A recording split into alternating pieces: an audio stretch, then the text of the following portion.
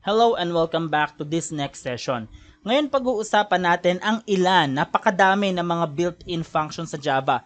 Napakita na natin na si println is siya pala siyang built-in function. So ngayon, discuss pa natin yung iba na pwede nating magamit. Alright, so this is kinda a short tutorial lang kasi there are lots. Hindi natin kayang gawin lahat yun. It will take us a lot of time. But ang mahalaga lang is we know how to use it. We understand kung paano natin sila tatawagin yun lang ang mahalaga. So maybe napansin nyo sa aking uh, code dito is meron tayong import java.mat. Okay? So hindi naman all the time kailangan to.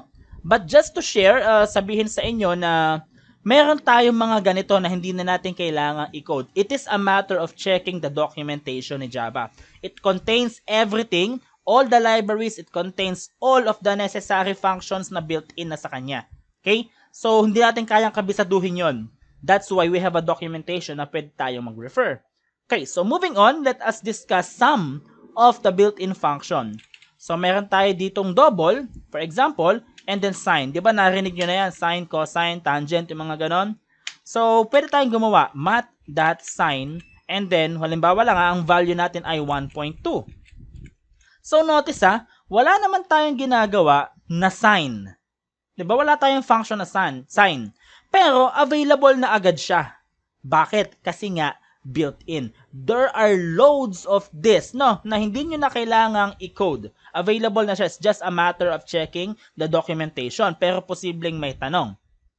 Paano mo nasabi na ang value ni uh, sign ay double? Okay, pwede kayo mag-hover dun, no? notice oh, yung mouse, yung aking cursor i-hover ko dun sa function. Ayun no, kulay pula. Uh, double java length mat sign double A. So, pin- meron siyang paliwanag dito, meron siyang parameter kung ano pwede mong gawin. So, practically, this is very important na matuto kayong tumingin sa documentation not only kung ano yung naituro sa inyo because hindi kayang ituro lahat. Alright? So, in this case, meron tayong sign available na function tapos kita natin ang data type niya na nare-return ay double. That's why yung aking variable, double din yung kanyang data type. So, if I try to display that, again, this is a built-in function, kasi, ayan, oh, hindi naman natin kinode si print line pero available na agad. So, sign. Okay? Uh, let us try na mag-compile. And let's run. So, ang kanyang sign ay 0.932 and so on. Right? So, that is very, very helpful sa atin, especially kung may ginagawa tayong math program na hindi natin alam kung paano i-code si sign. Available na agad. Sometimes, don't reinvent the wheel. The purpose of the function is that kung meron na tayong built-in, wag mo na siya i-code ng bago, use the function itself. Alright, discuss pa tayo ng isa. So, gawa pa ako ng isa, double power mat.pow. ba diba? Alam niyo na yan. Halimbawa, uh, 1 raised to the power of 4, something like that, ba diba?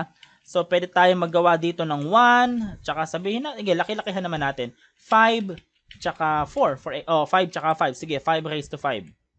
And then, system that out lang natin yan. Then, power.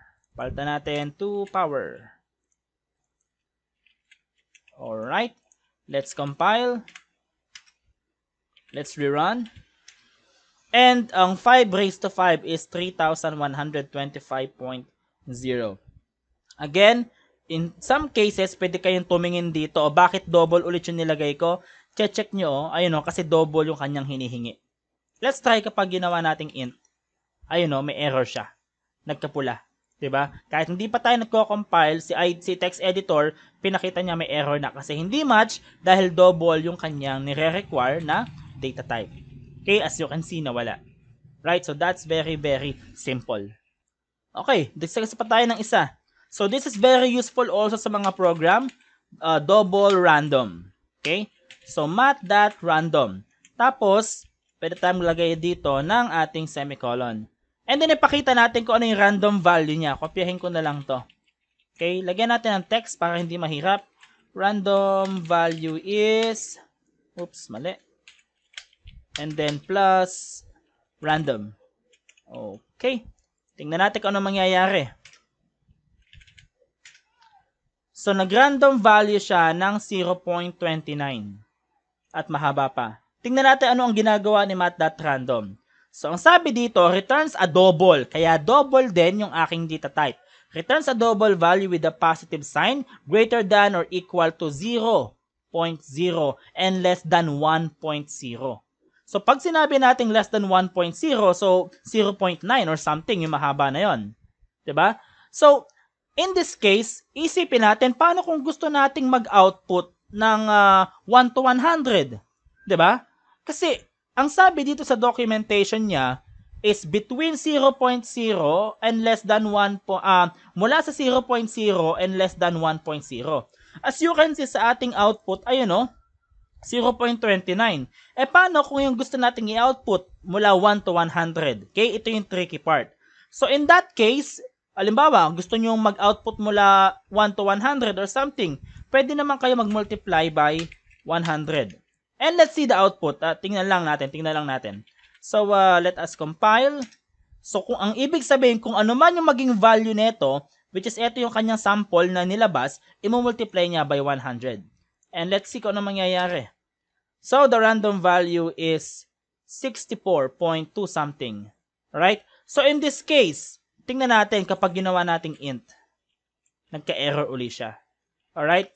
So, sa susunod na mga lesson natin, pwede naman nating alisin yung decimal kung hindi naman siya kailangan. So, halimbawa, trip nyo lang hanggang 10. E di, i-ano natin, gawin nating 10, then compile, rerun, so doon siya papatak. So again, this depends. Again ha, this depends sa kung ano yung inyong parameter at doon siya iikot ng value. Sa una, umabot halos ng 64, tapos ngayon nasa 5 lang. Kasi hanggang 10 lang yung maximum. This is something na very, very useful. Again, there are thousands of documentation. Ah, sorry, thousands of built-in function. Hindi natin yan kabisado. Alright, remember that hindi natin yon kabisado. That's why, titingin tayo sa Java documentation. Pwede nyo i-search sa inyong browser Java documentation and andun lahat ng mga listahan ng built-in function, may sample pa yon, then may paliwanag. Again, so uh, again, this is a very, very few na sample natin ng mga built-in function. As long as maintindihan niya lang kung paano sila gumagana, probably they are the same. Kung sakali mang they are not the same, meron siyang ipapakitang documentation kung paano siya gamitin. Until sa ating next video, I'll be seeing you next time.